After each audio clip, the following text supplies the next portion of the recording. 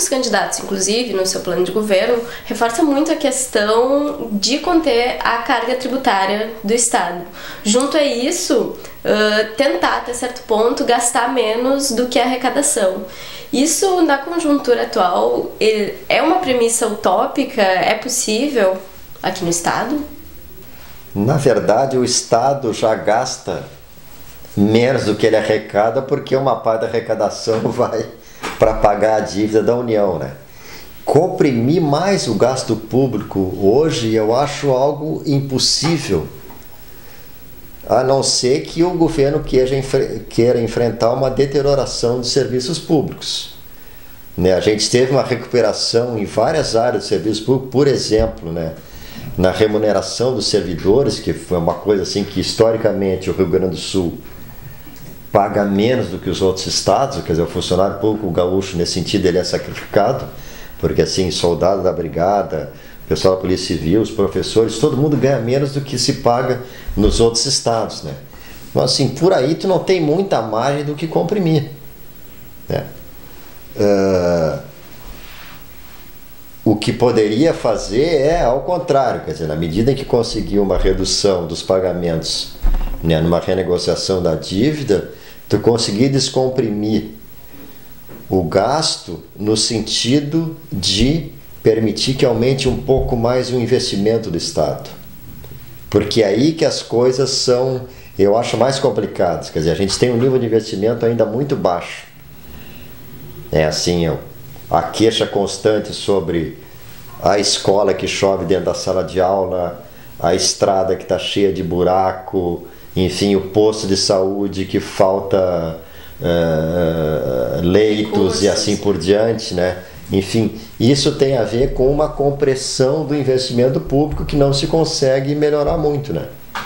Por conta, enfim, disso, quer dizer, tu tem uma arrecadação que ela não é muito flexível, na verdade, porque uh, a cobrança do principal imposto do Estado, que é o ICMS, ela depende de um acordo federativo, quer dizer, tem um Conselho Nacional de Política Fazendária, no qual participa o Senado, né, representantes de todos os estados, e as alíquotas, enfim, tudo tem que passar por ali. Então não é alguma coisa assim que o governador consegue resolver sozinho. Ele tem que negociar com todos os outros governadores e com o governador do Distrito Federal e tal. Não é algo assim tão simples, né? Uh, e de qualquer maneira, sim, quer dizer, eu acho que um dos grandes problemas do Rio Grande do Sul hoje, como de resto do Brasil, é que a gente ainda tem uma taxa de investimento muito baixa. E a taxa de investimento só vai aumentar na medida em que algumas coisas que estão andando hoje se concretizem e deem resultado. Principalmente são os investimentos em infraestrutura na área de transporte, energia, é, enfim, logística, né, portos, etc. e tal, né, que isso funcione, né, quer dizer, que eles comecem a, de fato, produzir esses serviços de infraestrutura que são um gargalo para a nossa indústria e mesmo para a nossa agricultura, porque tem lugar que não tem estrada para fazer escoar a safra. Enfim, chega na época de embarcar a exportação de grãos e o porto fica congestionado. Enfim, a gente, né, isso está todo dia no noticiário, todo mundo conhece essas dificuldades. Serviços públicos, idem, quer dizer, nós precisamos de mais hospitais, mais leitos hospitalares, nós precisamos, inclusive, de, enfim, mais vagas em presídios, né, e assim por diante. Então, é uma série de de coisas da área de infraestrutura, né? Uh, irrigação, né? que é um problema no Rio Grande do Sul, por exemplo, a gente está muito atrasado, né? Está se fazendo um enorme investimento lá no Nordeste com a transposição do São Francisco.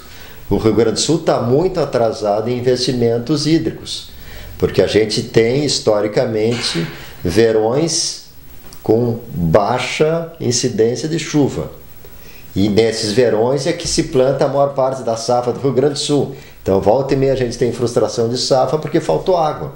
Se tivesse armazenagem de água, esse problema poderia ser resolvido. Né? Então, assim, esses investimentos é que vão propiciar uma retomada do crescimento mais adiante. uh, combinado com outro grande trunfo da economia brasileira, que é a entrada em produção total das enormes reservas de petróleo que a gente tem no pré-sal.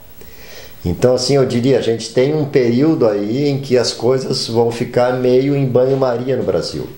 Esperando esses Quer dizer, resultados. o PIBinho atual de 1, 2% vai continuar até 2018, muito provavelmente, que é quando eu vou amadurecer os investimentos de infraestrutura e o pré-sal vai começar a produzir em mais larga escala, nós vamos ter um salto nas nossas exportações.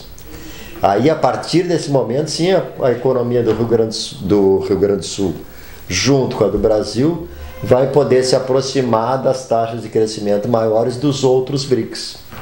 Porque hoje a gente é o BRIC que cresce menos. Nós e a África do Sul, enfim. Né? Mas o Brasil tem essa potencialidade, só que é uma coisinha, a gente vai ter que ter paciência e esperar que a Petrobras termine de fazer seus investimentos no pré-sal e esperar que essas melhorias de infraestrutura, de produção de energia, de aumento de exploração mineral, de sistema de transporte, ferrovias, eh, armazenagem e tal, que isso comece a ficar pronto para poder ajudar principalmente a nossa indústria. E até assim dar um otimismo que o empresariado eh, industrial brasileiro não tem tido nos últimos anos. Eles estão muito pessimistas, têm investido pouco. Na hora que eles enxergarem uma perspectiva melhor, espero que eles voltem a investir e ajude o Brasil a chegar mais perto dos outros BRICS que crescem bem mais que nós.